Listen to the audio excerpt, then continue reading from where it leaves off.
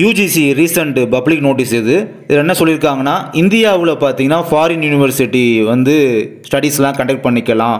Foreign university வந்து உங்களுக்கான ஒப்பீனியனை சொல்லுங்கள் சொல்லி பிப்ரவரி ரெண்டாம் தேதி கேட்டிருக்காங்க. இருபதாம் தேதி வரை டைம் கொடுத்துருக்காங்க. உங்கள் ஒப்பீனியன் வந்து சொல்லுங்கன்னு சொல்லியிருக்காங்க. இதில் வந்து அட்மிஷன் ஃபீஸ் எல்லாத்தையுமே டிசைட் பண்ணுறது யாருன்னா ஃபாரினில் உள்ள யூனிவர்சிட்டிஸ் தான் தீர்மானம் பண்ணுவாங்க.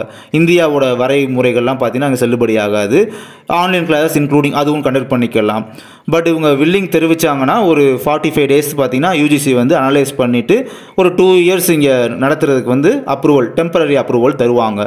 பட் இதுதான் கான்செப்ட்டு கொஞ்சம் திங்க் பண்ணி பாருங்களேன். நம்ம தமிழ்நாடு மட்டும் இல்லை இந்தியாவில் உள்ள ஆல் யூனிவர்சிட்டிஸ் அதாவது டிஸ்டன்ஸ் எஜுகேஷன் அப்ரூவல்லாம் இல்லைன்னு சொல்கிறாங்க பார்த்தீங்களா நாங்கள் அப்ரூவல் தரலன்னு சொல்கிறாங்களே இவங்களாம் என்ன ரீசன் கேட்டால் டெரிட்டோரியல் ஜுரிஸ்டிக்ஷன் ப்ராப்ளம் அப்படின்றாங்க. ஏன்னா ஃபாரினில் வந்து கோர்ஸ் வந்து கண்டக்ட் பண்ணுறாங்க டெரிட்டோரியலை வந்து மீறுறாங்க அப்போல்லாம் சொல்கிறாங்க பட் ஆனால் இவங்களுக்கு மட்டும் இந்தியாவில் மட்டும் ஃபாரின் யூனிவர்சிட்டி வந்து நடத்திக்கலாமா? இதெல்லாம் எந்த விதத்தில் நியாயம்? நீங்களே சொல்லுங்கள்